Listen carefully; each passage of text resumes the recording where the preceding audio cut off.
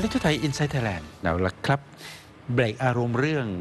แกะกับแพะแกะกับแพะไปก่อนนะคะใครโกหกเออตัดกลับมาที่เรื่องนี้เลยครับ พระธรรมชโยไปถึงไหนอืมเนี่ยแหละยังอยู่ประเทศไทยหรือไม่ เมื่อวานเมื่อวานค่ะรองนายกลุงป้อมพลเอกประวิตรวงษ์สุวรรณรองนายกความมั่นคง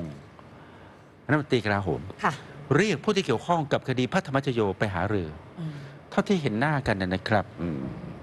ก็จะได้แก่รัฐมนตรีว่าการกระทรวงยุติธรรมคุณโสพันธ์ตันยุวัฒอันนะนี้แน่นอนค่ะ มีอธิบดีกรมสอบสวนคดีพิเศษ DSI ค่ะ มีพพบบตตรรปิ๊กค่ะแปะค่ะ มีท่านรองศิวราด้วยนะคะ รองรองพพบบตตรรพลด้วยตำรวจนะเอคะ กศิวรา รังสิพันนกุลด้วยนะคะ มีผอสำนักพระพุทธศาสนาแห่งชาติ ค่ะ ดังนี้เป็นต้นนะนะครับ นี่แหละค่ะ เมื่อวานที่คุยกันนะคะ หลังการประชุมครมเอาละครับ บิ๊กป้อมเรียกถกด่วน เดี๋ยวเราจะไปกันที่รัฐมนตรีโสพันธ์ตันยุวัฒนะ รัฐมนตรีว่าการกระทรวงยุติธรรมกำกับดูแล DSI ค่ะขณะนี้เผือกเผือกร้อนๆเต็มสองมือ อยู่ในมือ DSI ที่จะต้องดำเนินการในการนำตัวพระธรรมชโยออกมานะคะ ในการดำเนินคดีต่อไปคงไม่ต้องเขย่าขวดเยอะมั้งไม่ต้องเท้าความกันเยอะใช่ไหมครับว่า พระธรรมชโยมีหมายจับติดตัวอยู่กี่หมายอืมกี่คดีค่ะคดีอะไรบ้างจำได้ใช่ไหมครับจำได้ค่ะเอ่ออันนั้นอันอันนั้นฟโอเค ไปกันที่อะไปกันที่รัฐมนตรีว่าการกระทรวงยุติธรรมนะคะ ท่านสุวพันธ์ตันยุวัฒนะนะคะ สวัสดีค่ะท่านรัฐมนตรีคะสวัสดีครับสวัสดีครับคุณดนายคุณนมรรัตน์ครับครับ เมื่อวานรองนายกประวิตยก็เรียกผู้เกี่ยวข้องไปสอบทานความคืบหน้าคดีพระธรรมชโยนะฮะครับครับมีอะไรเป็นความคืบหน้าบ้างครับค่ะก็เมื่อวานนี้ก็ซักซ้อมกันครับว่าเอ่อเรื่องทางคดีนะครับ แล้วก็เรื่อง การดำเนินการที่ผ่านมา แล้วก็หารือเรื่องหลักการที่จะดำเนินการในอนาคตค่ะ ครับ อ่าผมผมสรุปนี้ครับว่าที่ผ่านมาก็ที่ผ่านมาก็ผ่านไปมีอุปสรรคอะไรยังไงบ้าง ก็ครับท่านรองนายกก็รับทราบแล้วนะ ครับ ค่ะ อ่าทีนี้การดำเนินการในอนาคตเนี่ย ก็ท่านรองนายกก็สั่งการให้ตอนนี้ให้ทางกรมสอบสวนคดีพิเศษครับอ่าถือเพราะถือเรื่องเออการดำเนินคดีหลักอยู่ เอ่อครับเนื่องจากมีผู้เสียหายหลายคนนะครับ ครับ แล้วก็ค่อนข้างได้รับผลกระทบมีประชาชนได้รับผลกระทบจำนวนมากครับก็เอาให้ถือเรื่องนี้เป็นเรื่องหลักในการดำเนินการ ก็ให้กรมสอบสวนคดีพิเศษเนี่ยเอ่อเหมือนเป็นเอ่อเจ้าภาพหลักในด้านการปฏิบัตินะครับ อืม ครับ แล้วก็หน่วยเอ่อบังคับใช้กฎหมายอื่นๆตำรวจก็ดีหรือมหาดไทยก็ดีหรืออะไรก็ดีเนี่ย ค่ะ ก็เอ่อต้องช่วยสนับสนุนช่วยเหลือ อือมอันเนี้ยเอ่อประการที่หนึ่งนะครับครับเอ่อประการที่สองเนี่ยก็แนวทางในการดำเนินการเนี่ย ก็ยังยึดสองสองแนวทางไปพร้อมๆกันครับคือเรื่องของการให้เอ่อพระธรรมชโยนะออกมารับทราบข้อกล่าวหาครับแล้วก็ขอใช้สิทธิ์ต่อสู้คดีไปจนจะได้สิทธิ์มากน้อยเพียงใด ก็เป็นเรื่องของกระบวนการไปครับกับสองเนี่ยเรื่องของเออถ้าไม่มารับทราบข้อกล่าวหา ก็เป็นหน้าที่ดีที่สุด ต้องหาทางในการเอ่อนำตัวไปส่งอายการค่ะก็ยังให้เดินสองสองอย่างนี้พร้อม ๆ กันอืมครับนะครับผมก็ให้นโยบายกับทางดีเอสไอไปแล้วครับนะครับว่าในการเดินเรื่องแรกเนี่ย เอาเรื่องแรกค่ะเรื่องแรกที่ให้มารับทราบข้อกล่าวหาเนี่ยจะครับนโยบายคือไม่มีก่อรอง ไม่มีต่อรองเต้องมีเงื่อนไขหนึ่งสองสามสี่ไม่นี้ไม่นู้นอะไรอย่างเงี้ยแล้วต้องไม่มีต่อรอง อืมอีประดุอ่า เอ่ออะไรล่ะประวิงเวลาไป อือหือ อันนี้ต้องมาคุยกันเรื่องกระบวนการขั้นตอนในการจะมารับทราบข้อกล่าวหาจะทำกันยังไง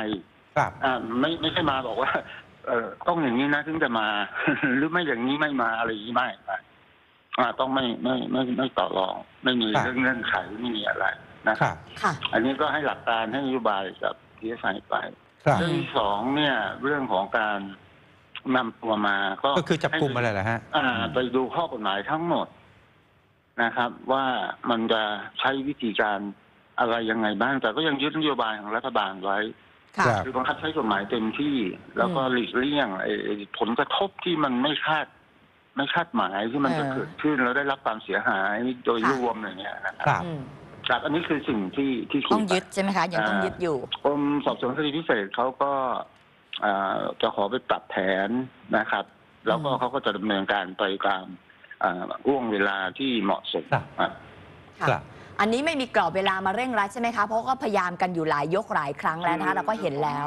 ครับ ก็คือผมผมเรียนอย่างนี้ฮะว่าทุกทุกอย่างก็อยากให้เร็วที่สุดอะค่ะ อ่าทำอะไรได้ต้องทำให้เร็วที่สุด เพราะว่ามันมันก็ส่งผลหลายอย่าง มันมันมันก็ไม่ดีอะ มันบังคับใช้กฎหมายไม่ได้เต็มที่มันก็ไม่ดี ค่ะ ใช่ไม่ค่ะ ถูกอ่ามันไม่ถูกต้องอะสังคมครับก็ครับมองเราอยู่ครับ นะครับครับอืม ครับ ด้วยความเคารพฮะอย่ากโกรธกันนะครับครับ เอ่อคำถามดังต่อไปนี้นะฮะฟังไปฟังมานะฮะฟังไปฟังมานะฮะไม่มีอะไรใหม่เลย อืม และประการที่สองยิ่งไปกว่านั้น ไม่มีความหวังเลย ว่าจะได้ตัวพระธรรมชโยมาดำเนินคดี อืม อ่า มันไปไม่ถึงไหนจริง ๆ นะฮะมันสาระมันที่มันหาเรือกันเมื่อวานนต้องมีอะไรใหม่ มันต้องมีอะไรใหม่ไม่มีอะไรใหม่เลยนะเนี่ย อ่าต้องมีฮะ มันต้องมีนต้องมีวิธีการต้องมี อ่ามันต้องมี ค่ะ ผมครับ ผมเรียนว่ามันต้องมีต้องมีวิธีการปฏิบัติที่ครับ ที่มันแสดงถึงถึงการที่จะต้องเกิดผลสำลิดอะครับ ซึ่งอืผมมมองผมมองว่าเรื่องเนี้ยมันต้องบริหารจัดการแบบ ครับ มุ่งผลสำลิดไม่ใช่บริหารจัดการแบบเอิ่มดึงเวลาไปเรื่อยๆค่ะงั้นก็จะมีคำถามอย่างคุณทนายเนี่ยกลับมา อืมฮึอ่า ซึ่งอันเนี้ยมันก็ไม่ไม่ เราต้องการให้มันเกิดผลสำลิดอะผมเรียนอย่างเงี้ยเอาอย่างเงี้ยว่าผมต้องการให้เกิดผลสำลิดค่ะ แล้วก็จะบริหารจัดการครับ เพื่อนำไปสู่ผลสำลิดครับ ค่ะ นะฮะส่วนกรอบเวลา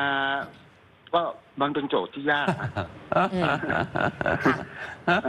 มันเป็นทีนี้โจทย์ทีนี้ยากทีนี้คุณคุณสุภพันธ์ครับ ต้องทำเต็มที่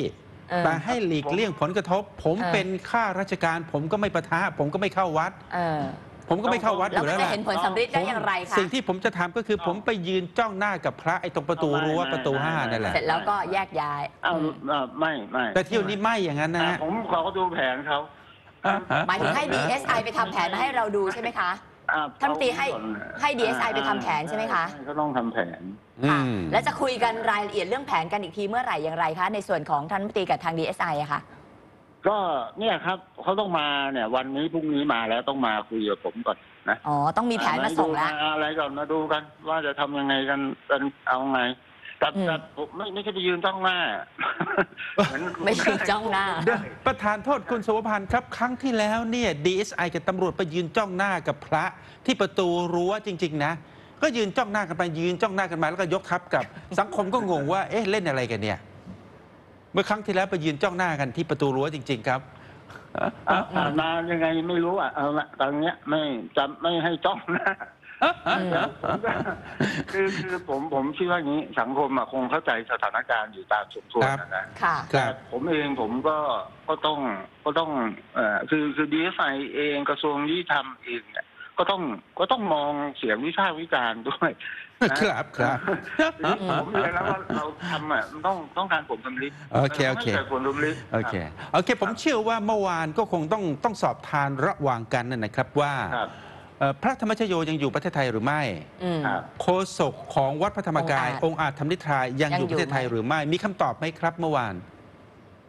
เอ่อเรื่องของท่านธรรมชโยเนี่ย โดยโดยเอ่อข้อมูลนะของกรมสอบสวนคดีพิเศษครับเอ่อยังเชื่อว่ายังอยู่ ยังอยู่ เชื่อว่ายังอยู่ใช่ไหมยังคะเชื่อว่าเนี่ยยังอยู่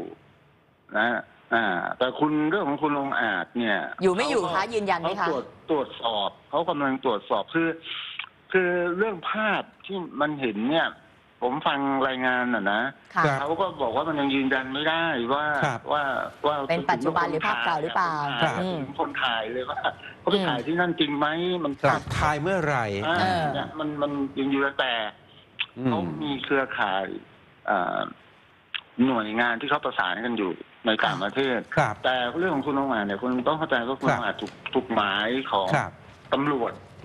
ค่ะ ครับ อ่าเพราะฉะนั้นตำรวจเนี่ยเขาก็ก็ต้องเอ่อเป็นหไปน่วยติดตามตัวหน่วยหลักในการติดตามครับตัวในการอืม ยืนยันแต่ครับ ดีเอสไอก็ไม่ได้อยู่เฉยเรื่องนี้ ครับครับครับ ก็มันเกี่ยวพันกันอยู่ โอเค เพราะฉะนั้นดีเอสไอก็ทำไปตามขอบเขตที่ที่ดีเอสไอมีอยู่ ศักยภาพเครือข่ายในการประสานงานเขาทำอยู่แต่เขายังไม่ได้คำตอบ โอเคค่ะเอาละครับ ผมก็จะตั้งความหวังกับท่านรัฐมนตรีต่อไปอืมว่าจะไม่แค่ยืนจ้องหน้ากันที่ประตูรั้วประตูห้าจะรอดูผลสำฤทธิ์นะคะสำฤทธิ์ผลที่ต้องการขอบเห็คุนณครับ ขอบพระคุณนะคะท่านรัฐมนตรีคะขอขอบคุณครับคุณนายคุณอมรรัตน์ครับ สวัสดีครับค่ะครับสวัสดีครับรัฐมนตรีว่าการกระทรวงยุติธรรมนะคะ ท่านสุวพันธ์ตันยุวัฒนะอะรอดูแผนเป็นอีก DSI ครั้งที่สัมภาษณ์ไปก็หัวเราะไป เอาละครับอืมเอ่อชาตินี้ไม่ได้ชาติหน้าก็คงต้องจับได้นะนานไปไหมคะ เอาละครับ ไปพักกันสักครู่ค่ะ